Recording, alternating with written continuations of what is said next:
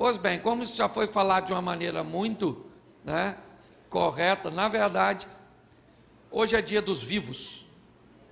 E nós vamos celebrar a vida. E eu quero que você aprenda algumas coisas muito preciosas. Primeiro, Hebreus 9, 27 diz assim: Ao homem está ordenado morrer apenas uma vez, e depois da morte virá o juízo. Então, nós só morremos uma vez. Isso é muito legal, porque isso também nos informa que vivemos uma vida só. Então você só tem uma oportunidade de viver, só essa. Ah, pastor, eu acredito em reencarnação. Beleza, mas não é disso que nós estamos falando aqui, ok? Ah, eu acredito que eu fui a rainha. Nossa, tu andou para trás. Já foi rainha na Inglaterra no século XII. Agora, certo? Pensa num negócio desse. Pois é, mas eu não estou aqui né, para discutir isso. Eu só quero dizer que nós acreditamos que a vida é uma.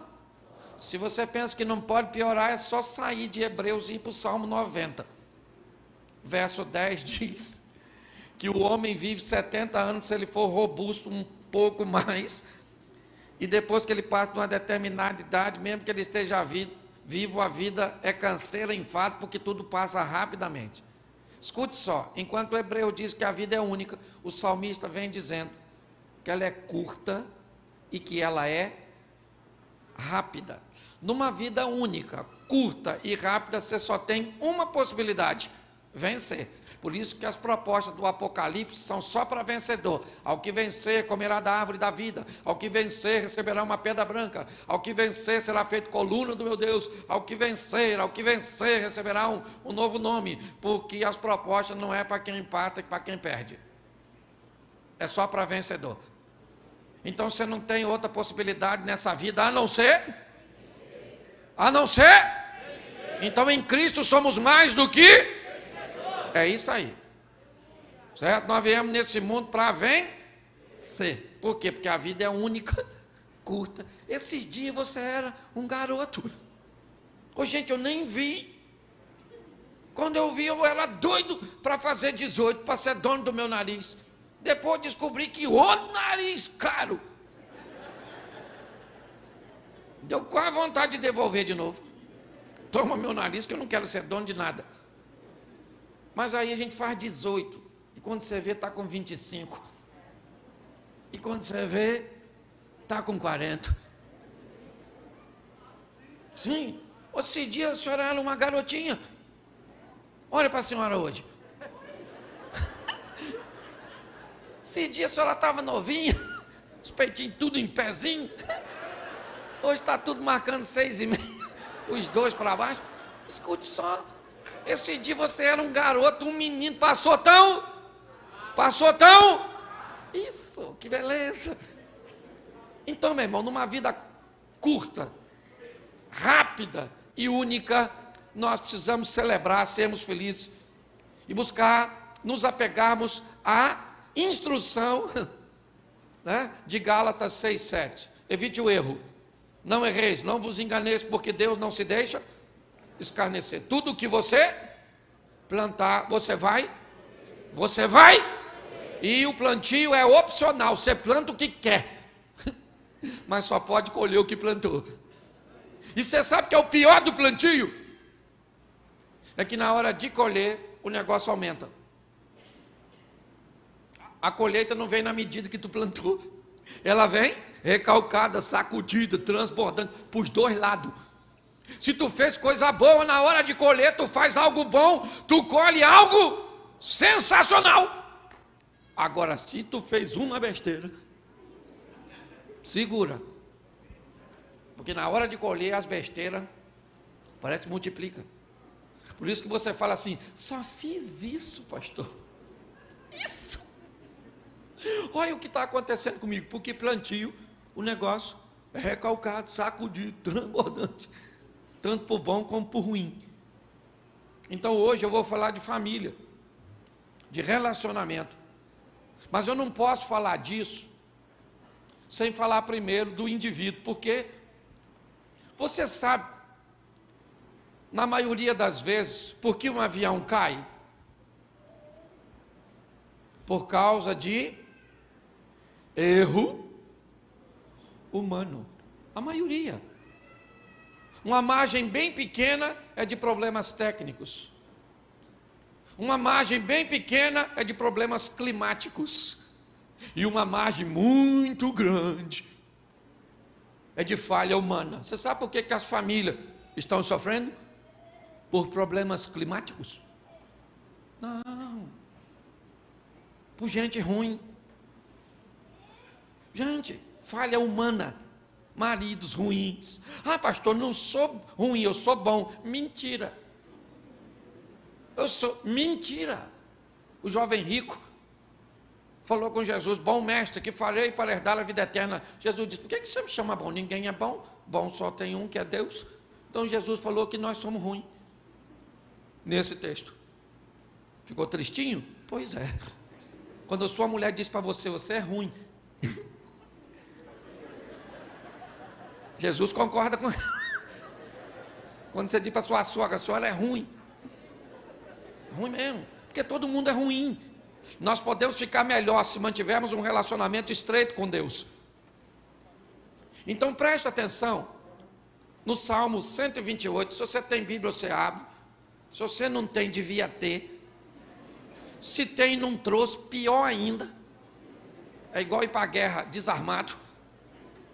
Certo? E se você não tem mesmo, só ficar quieto já ajuda. Salmo 128.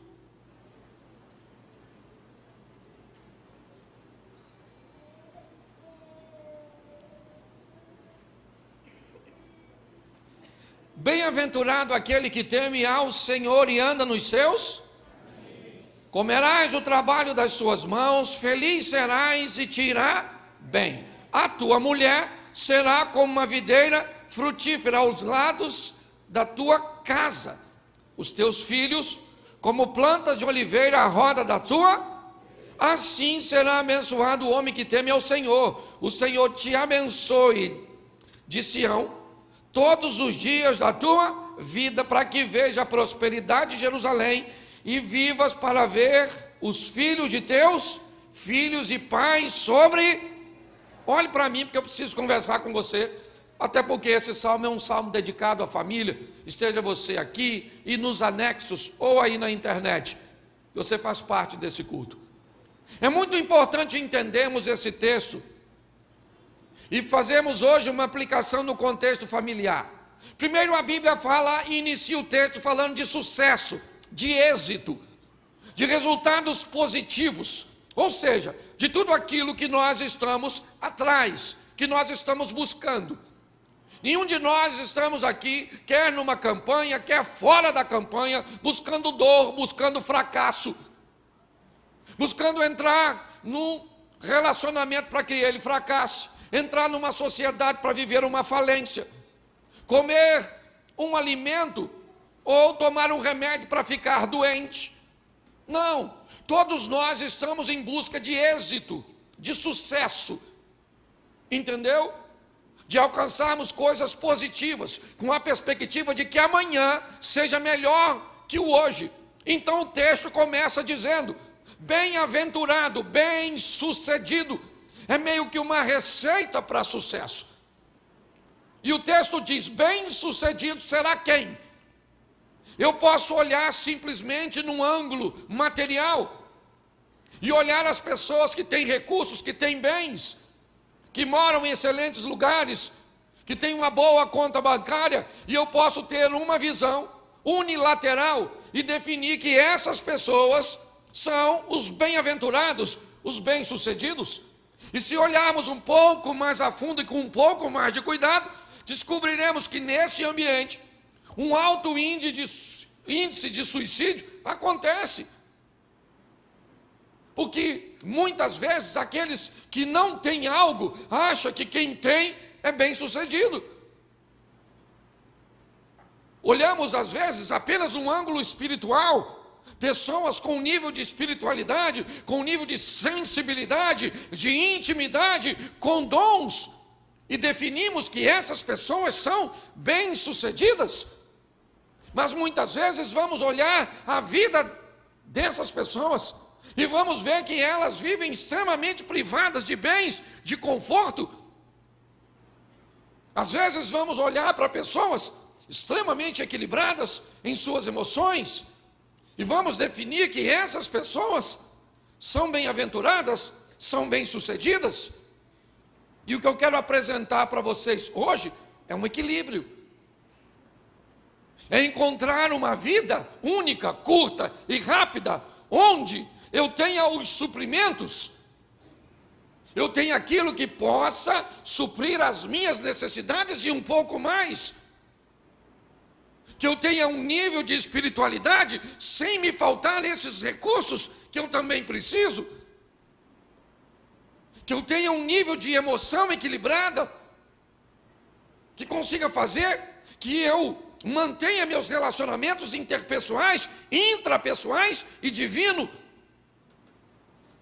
O texto diz: bem-aventurado, bem-sucedido quem? Quem tem dinheiro? Não simplesmente isso. Quem tem uma vida espiritual extremamente né, de intimidade, não simplesmente isso. A Bíblia diz: bem-aventurado, bem-sucedido é aquele que teme ao Senhor e anda nos seus caminhos. Preste atenção, porque tem gente que teme a Deus, tem gente até que diz ser devoto. Ah, pastor, eu sou devoto de Fulano. Não, não, não. Eu quero saber, você conhece a vida do fulano cujo qual você é devoto? Se você conhece a vida de alguém que você se diz devoto, ao invés de devoto, seja imitador. Seja alguém que, que é capaz de replicar o comportamento, as atitudes e as decisões. Tem gente que teme a Deus e diz que não precisa nem de igreja, porque Deus está nela. Mas olha o que o texto diz: além de temer a Deus, porque o temor do Senhor é o princípio da sabedoria, o texto diz que eu preciso obedecer também. Já ouvimos isso aqui hoje. A obediência, ando nos caminhos. O texto diz que se eu quero ser bem-sucedido, primeiro, eu pauto a minha vida em agradar em obedecer a Deus. Se eu fizer isso, eu vou começar a receber alguns resultados que eu desejo. E o primeiro resultado que eu desejo não tem a ver com casamento, não tem a ver com formação de filhos. Não, não. A história não começa aí. Se começasse com casamento e com filhos, a gente já nasceria casado. O que o texto diz no verso seguinte é: se você temer a Deus e andar nos seus caminhos, você vai comer do trabalho das tuas mãos, você vai ser feliz e tudo vai bem para você. Preste atenção. Eu amo esse texto porque ele vai falar de família, é um salmo dedicado à família, mas ele me dá um endereço certinho, um caminho direitinho, ele parece um GPS, sabe? Porque ele vai me dizer que se eu andar nos caminhos do Senhor e temê-lo, primeiro, meus resultados pessoais, particulares, individuais vão ser positivos. No verso 2, não está falando de casamento, não está falando de família, está falando de resultados que você vai alcançar ao lado de Deus. Qual é o grande desajustes nas famílias?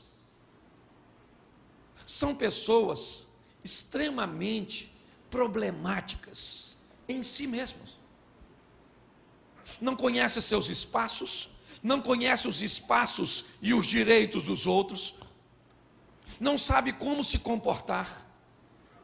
O texto vai falar da individualidade, por quê? Porque casamento não tem problema, isso é palhaçada. Casamento é uma instituição. Quem tem problema é quem compõe o casamento. Ah, o casamento tem problema. Que o casamento tem problema o quê? Quem tem problema é a mulher, é o marido, é a sogra. Não, é gente problemática. Se a gente corrige um indivíduo para que ele aprenda a viver na sua individualidade, ele fica bom para viver em equipe. Mas quando as pessoas são ruins, hum, entendeu? Não sabe o espaço do outro, não conhece o temperamento do outro, não conhece a cultura que o outro foi treinado, não sabe nada de nada, de nada, de nada. É gente egoísta, problemática, quizumbeira, fofoqueira, compra tudo que vê pela frente, anda na rua o dia inteiro, cheio de coisa em casa para fazer.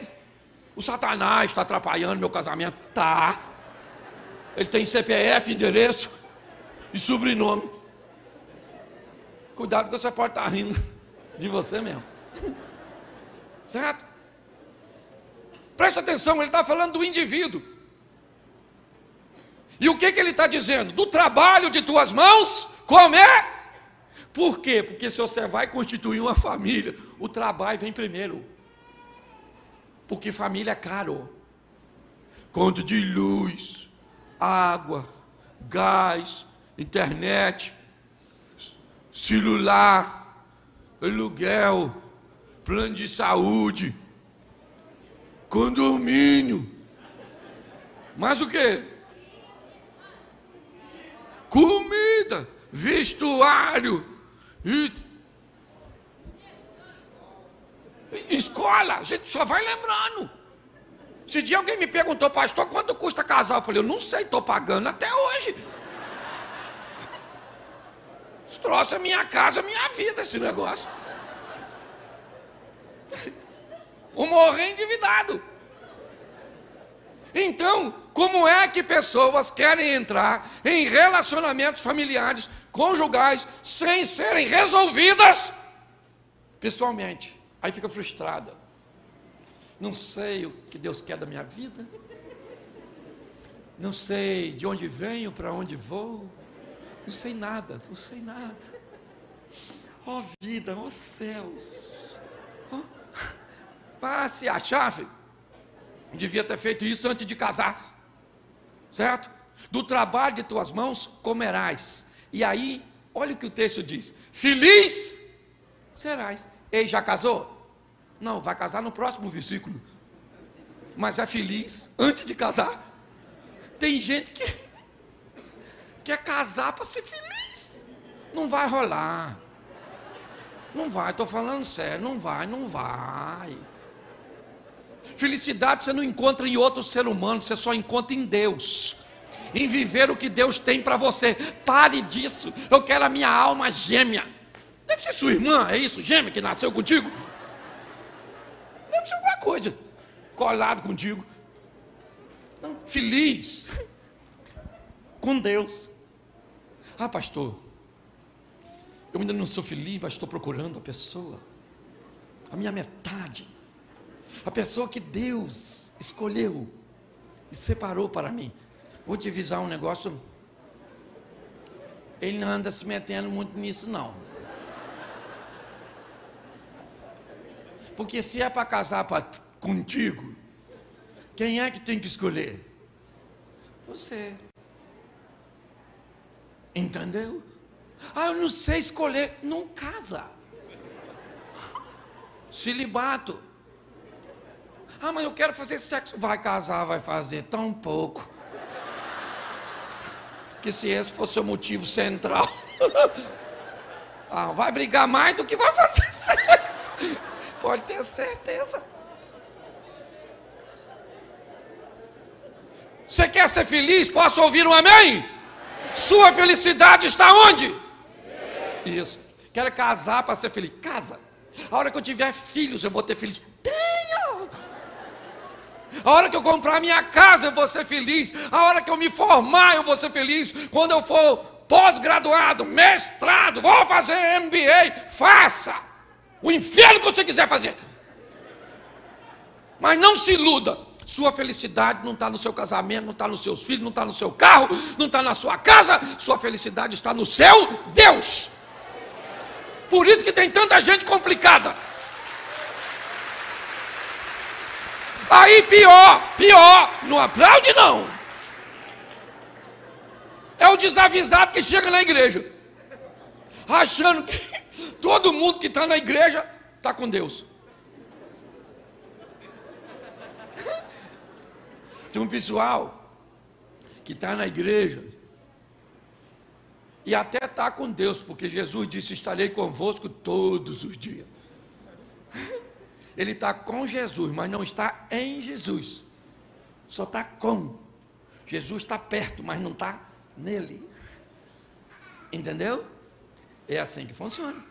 E se você não prestar atenção, aí o que, que você pensa? Vou entrar na igreja, que lá deve ter um homem de Deus. Tem muito. Mas tem uma turma que também presta serviço. Ele não é nem funcionário do Satanás, não. É só freelance, motoboy. Uns assim. Ele não trabalha direto, não, mas de vez em quando ele faz um frete trazendo uma notícia ruim, uma palavra ruim. Você conhece alguém? Conhece, não, não, não assinala não, que é para não prejudicar o bom andamento do culto. Feliz serás, e presta atenção, tudo te irá bem.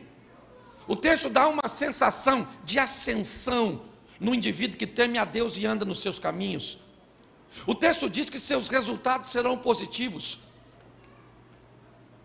O texto diz que ele vai ser feliz. E o texto diz que ele vai de nível em nível. O final do verso 2 nos expõe isso. Tudo te irá bem. Ele vai mudando de nível, ele vai passando de fase. Porque temendo a Deus e andando nos seus caminhos, ele vai prosperar, ser bem-aventurado. Agora então, nós vamos para o verso 3. Tua mulher, olha só, isso é sensacional. Ruma dinheiro, seja feliz. E já foi bem nesse nível, agora pule para o próximo. Casa. Aí sabe o que as pessoas fazem? Queima etapa. Sabe? A menina, 14, 15 anos, já se sente uma mulher. Mas não arruma casa, não lava roupa. Faz nada, faz nada, faz nada, faz nada, faz nada, faz nada. O menino não quer fazer nada, acorda meio-dia cansado. Nossa, ah. nossa, o que, que foi? Sonhou que estava trabalhando? Deve ser acorda meio-dia, estava cansado, que estava fazendo alguma coisa, já cansou no sono. Entendeu? O texto está dizendo aqui algo muito claro. Agora, ele vai casar. Tua mulher. Entendeu? Estou dizendo que você tem que ser rico para casar, não. É muito maneiro construir uma história junto. Quando eu casei com aquela mulher, nós não tinha nada, né, Vê? Hoje nós não tem quase nada. Mas nós não tinha nada hoje. É só quase nada. A gente morava numa casa tão apertada que para o sol entrar, nós tinha que sair.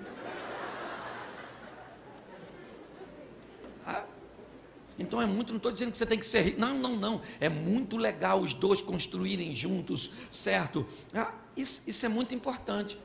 Agora, tem que saber como funciona. O salmista diz que quem teme a Deus e anda nos seus caminhos, ele é bem sucedido. Inicialmente, ele diz que esse sucesso vem de suas questões materiais, de suas questões emocionais, ele vai ser feliz, ok? Então, se você quer casar com alguém, pergunta essa pessoa: Você é feliz? Ela fala assim: Sou. Muito. Entendeu? Pastor, mas com a cara dessa, não é feliz. É, cara não é sintoma de. Você só tem que dar, ir dando uma olhadinha. Por quê? Vai casar contigo, irmão. Casamento é um troço vitalício. Sabe o que é vitalício? Deixa eu te explicar o que é vitalício. É até você morrer. Você acha que isso vai acontecer rápido? Não vai. Só se você for muito bom. Que os bons morrem rápido. Os ruins precisam de chance de melhorar. Por isso que quando alguém vai casar com viúvo, eu conselho. Cuidado. Porque normalmente viúvo morreu o bom.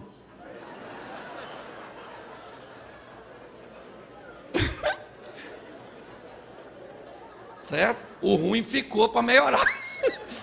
Talvez através da sua vida. Quando nós olhamos aqui para esse texto, ele diz: Sua mulher será como uma videira frutífera aos lados das. Isso é extraordinário. Porque o cara é feliz, sim ou não? Está falando do indivíduo. E aqui, generalizando, homem e mulher. Certo?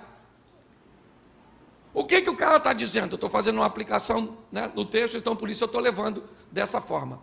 O texto diz que a mulher do cara que é feliz, teme ao sem e anda nos seus, ele vai ter uma mulher igual videira. Videira é a planta que dá a uva, que faz o, que é um símbolo de alegria, felicidade. Entendeu? Porque gente alegre, gente maneira, que anda com Deus, vai escolher gente do mesmo nível. Uma mulher maneira. Pastor, tem mulher ruim? Tem mulher ruim. Tem homem ruim? Tem. A Bíblia diz que tem mulher que é pior que goteira. Tuf, tuf, tuf, tuf. Tem homem ruim? Não, tem homem péssimo, grosso, insensível, dominador, machista, tem de tudo. Certo? Mas é você que escolhe. Entende? Ah, você reclama do seu marido, queria lembrar que quem escolheu ele. Pois é, dona. Foi a senhora mesmo. Meus sentimentos pela escolha, é ou não? Quando nós olhamos, preste atenção nisso. É importante observarmos.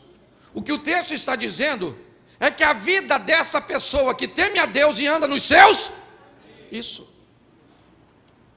Suas coisas vão bem em material, suas emoções vão bem em felicidade, e ela vai mudar para o próximo nível.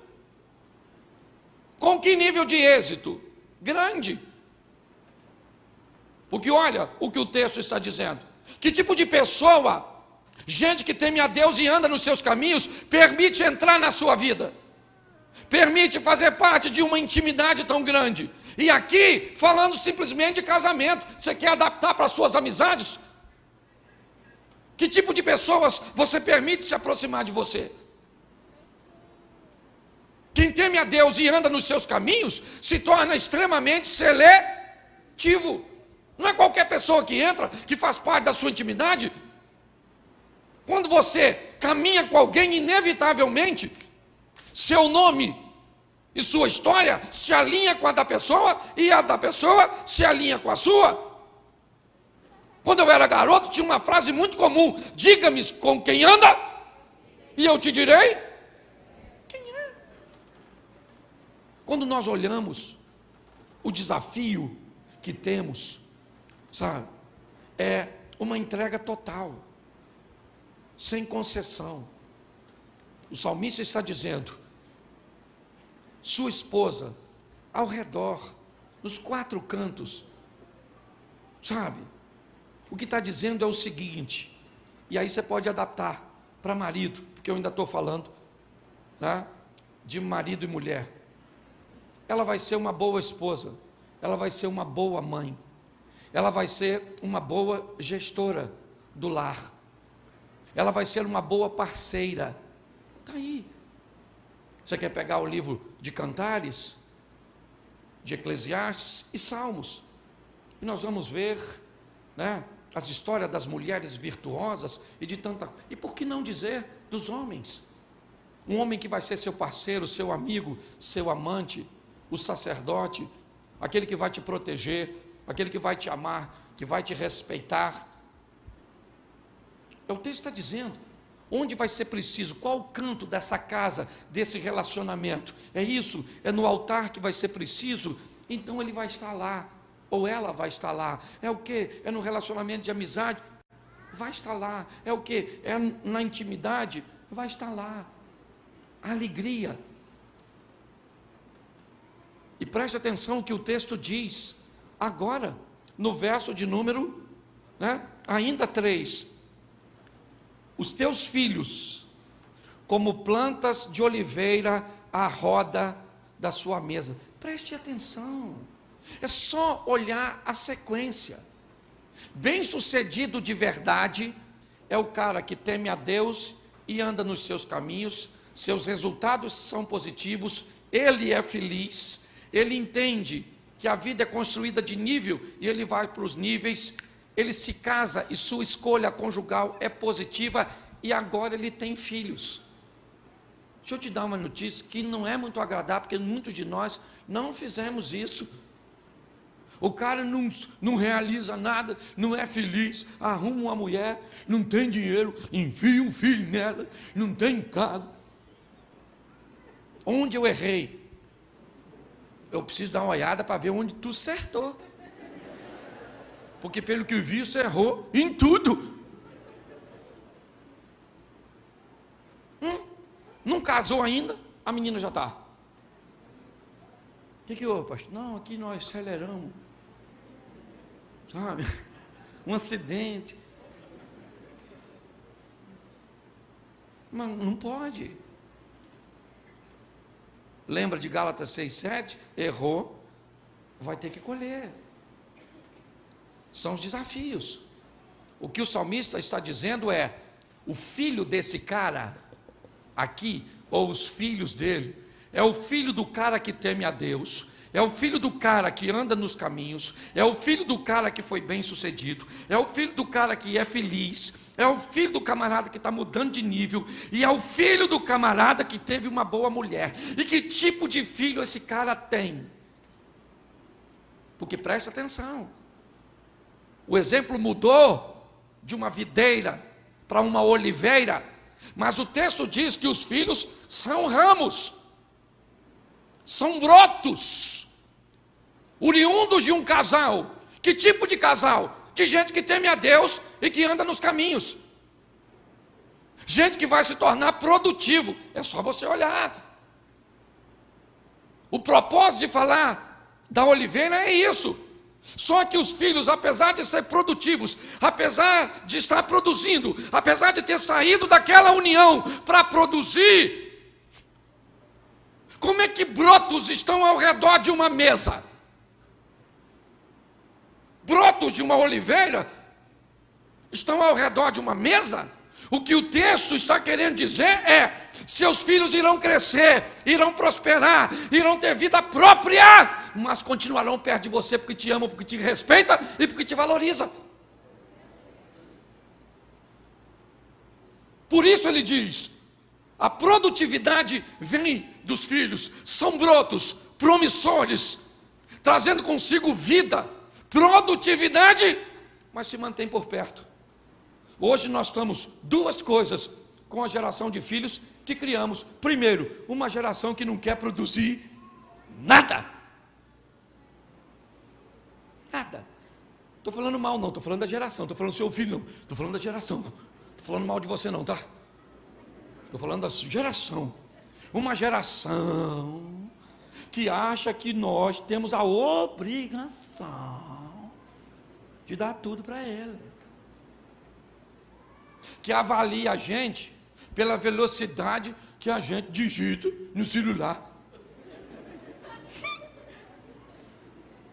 Quem digita sim? Nossa, nossa, nossa, nossa, ultrapassado. Olha como é que eu digito. Querido. Quem é que paga a conta desse celular para tu digitar nessa velocidade extraordinária? Se o indivíduo aqui, que é ultrapassado, retrógrado, não pagar a continha da internet, da companhia telefônica, da sua televisão, você não vai ver é nada. E tem a outra parte, os que estão doidos para produzir, ó, para picar mula. Estou doido para me desaparecer daqui. Sumir dessa casa, desse inferno. É só tu ir embora. Que o inferno acaba. Porque às vezes o Satanás. Não vou chamar você não. Você veste a carapuça se quiser. Sim. Filhos bem treinados, eles vão ser bem-sucedidos, sim ou não? Sim ou não? Eles vão ser autossuficientes, porque não tem nada pior. Um cara 40 anos dentro da sua casa. Mãe.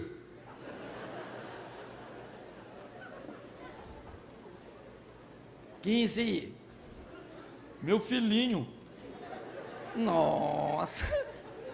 É Benjamin Button, ele? Deve ser, tá ficando novo. Vai morrer novinho. Deve ser. O texto está dizendo: seus filhos serão autossuficientes, irão realizar coisas, farão coisas que você nunca fez, serão flechas na mão de um valente, mas estarão por perto de você, que aprenderam a te amar, aprenderam a te respeitar e a te valorizar. Esses são os filhos daqueles que temem a Deus e andam nos seus caminhos. Eu sou de uma geração, hoje eu vejo mãe falando para o filho: Você me ama, minha filha? Fala para mim. Você ama mamãe? Na minha época, ele queria saber se nós amava nada. Você me obedece que eu te rebento. Mas eu, oh, nossa, vou, eu fui criado com minha tia, que louvado seja Deus, que Deus a tenha. Mas minha tia me batia estilo carrossel. É eu girando e ela com chinelo. E ô mulher para ter memória ela lembrava de tudo que eu fiz ao longo da semana, normalmente batia na sexta, que é para acabar com o final de semana. Você fez isso, deixou o copo sujo. Hum, hum. Uma vez ela me bateu porque sumi com o óculos dela. E nela me batendo, o óculos estava aqui e caiu. Aquele dia eu achei que minha tia ia me pedir perdão porque eu não tinha sumido, ela que não sentiu o óculos, e eu não dava para olhar para cima, porque eu só estava correndo. O campo de visão ficou pequeno. Quando o óculos caiu, ela parou imediatamente de me bater. E eu olhei para ela. Ela pegou o óculos, olhou para mim e falou: Vai embora que eu te bato mais. Quem aqui apanhou, levanta a mão. Louvado seja Deus. A Bíblia diz que toda criança tem que apanhar porque nasce doida. Está lá provérbio, a vara da disciplina tira a loucura do coração da criança.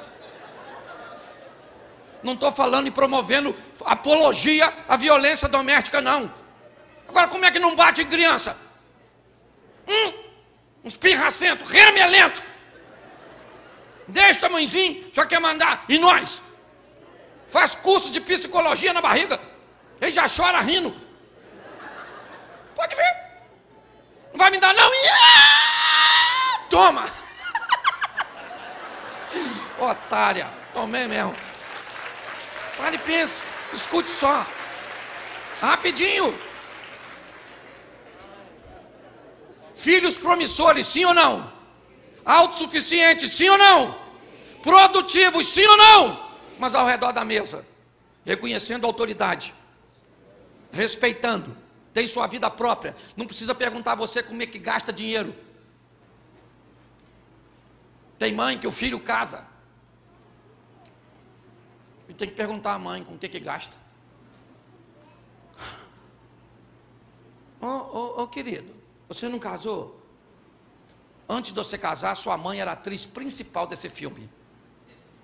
E agora? Você casou? Agora ela é só coadjuvante. Agora a principal é a dona que você casou. Ah, não gosto disso. Pois é. Então não casa. Entendeu? Ah, mamãe, mamãe. E, e, e tem umas velhas também ruins. Agora vai chegando final de ano, você quer falar com a sua mãe que pela primeira vez você amadureceu um pouco mais e quer passar o Natal na casa da sua sogra e o ano novo na casa da sua mãe.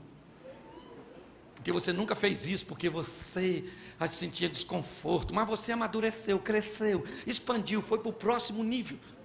E agora você chega lá para falar com a sua mãe, seja você homem, mulher. Mãe, mãe, mãe, vou falar um negócio com a senhora aqui, que nós estamos aqui já no novembro.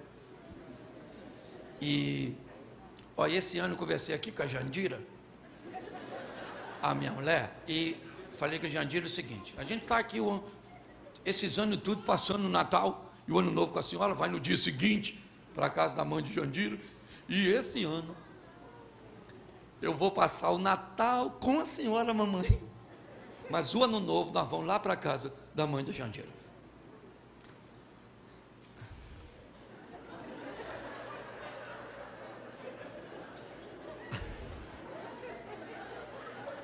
O que, que foi, mamãe? Não, nada, não, nada. Ai, tudo escurecendo. Traz um copo d'água aí, meu filho, que eu estou achando que desse ano eu não passo mais. Eu acho que eu vou morrer com tanta ingratidão, com essa Jandira, com a miserável da mãe da Jandira. Ô querido, fica tranquilo que essas velhas ruins assim não morrem nada. Ninguém quer isso do outro lado, nem Deus, nem o Satanás, não é? Você está rindo? Mas é sério. Muito mais sério do que imaginamos. Maturidade. Vamos aqui porque. Vamos lá. Verso de número 4. Assim será abençoado o homem que teme ao. Assim como? O homem que será abençoado assim é qualquer um? Não. Eu leio uma frase de Filipenses e digo: Ah, porque Deus vai me prosperar. Que prosperar você? A frase foi escrita para os filipenses. Paulo está ministrando uma palavra para os filipenses, porque os filipenses tinham o coração aberto no que diz respeito à solicitude. Pessoas pegam uma promessa condicionada por alguém que fez algo antes e pega para si não repetindo o comportamento que fizeram. Isso é loucura. O texto está dizendo assim, assim como. Assim como eu disse desde o começo, esse camarada vai comer, certo? Do seu trabalho, porque tem gente que trabalha igual um burro e não sabe sequer para onde vai os seus recursos. Esse cara vai ser feliz esse cara vai mudar de nível, a esposa desse cara será extraordinária, seus filhos serão produtivos, mas terão a integridade de entender o respeito e admiração aos pais. Aí o texto vem e diz: assim como eu já disse a vocês, ou seja, é uma afirmação. O homem que teme ao Senhor irá ser abençoado. Olha o verso 5. O Senhor te abençoe de Sião, todos. Repita comigo, todos. De novo, todos. O Senhor vai te abençoar de Sião todos os dias da sua vida. Preste atenção, você não vai viver de fase. Porque seu relacionamento com Deus não é de fase. Entendeu? O texto está dizendo: todos os dias da sua vida, você vai ser abençoado. Por quê? Porque você teme ao Senhor e anda nos seus caminhos. Tem gente que vive uma vida, quer seja financeira, quer seja espiritual, quer seja emocional, cíclica. Hoje eu estou bem demais e durante seis meses, eu não estou dizendo que você não pode ter um dia ruim, que você não pode ter um dia triste, que você não está um dia abatido, um dia cansado demais, um dia com os hormônios descompensados. Não estou dizendo isso. Mas tem gente que é assim: seis meses Está na igreja, louvado seja o eterno e um fogo. Cadê o irmão? O irmão sumiu. Está onde agora? O irmão está lá na boca. Está lá cheirando um pó, via armado. Sangue de Jesus tem poder. Estava com a Bíblia. E disse, depois é, menino. Aí passa um tempo de novo, cadê o irmão? Meu Deus. Aí passa um tempo depois, cadê o irmão? Cadê a irmã? A irmã está lá na igreja. E agora a irmã? Está lá no baile funk. Isso. Beijinho no. Bora. Maneiro. Que história é essa? O texto está dizendo que a vida dessa pessoa será abençoada todos os, todos os, e olha o verso 6 para a gente terminar. E viva para ver os filhos de seus, eu gosto disso, vida longa. Se tem uma coisa que a gente não está afim, seja franco, é de morrer. Hoje, dia dos mortos, né? Deus tem a todos, ainda que nem todos tenham. É complicado. é. Certo? Mas deixa eu falar com você. Vida longa. Longevidade. Quem teme a Deus e anda nos seus, tem um estilo de vida que dá a essa pessoa um, uma das coisas que mais mata ao longo da história: problemas emocionais, situações que somatizam, aborrecimentos que causam câncer, gastrite, úlcera, desequilíbrio de pressão arterial e tantas outras coisas. E o texto está dizendo que eu posso resolver tudo isso só fazendo duas coisinhas: temendo a e andando nos seus. Isso aí. Uma vida maneira, um casamento maneiro, uns filhos maneiros, vivendo isso de forma rotineira e não cíclica. Então eu queria deixar essa palavra para você hoje. Quem aqui é solteiro, levanta a mão. Aí, se tu sair daqui hoje para escolher uma tralha para casar, lasque-se. Porque, olha, você vem no lugar certo. Entendeu? Agora, você que é casado, já era. Pô, pastor, eu tinha que ter escutado essa mensagem antes. Pois é, querido. Isso aqui é um culto, não é uma regressão. Nossa, eu vou levar você lá para. Mas aqui tem um Deus que pode mudar.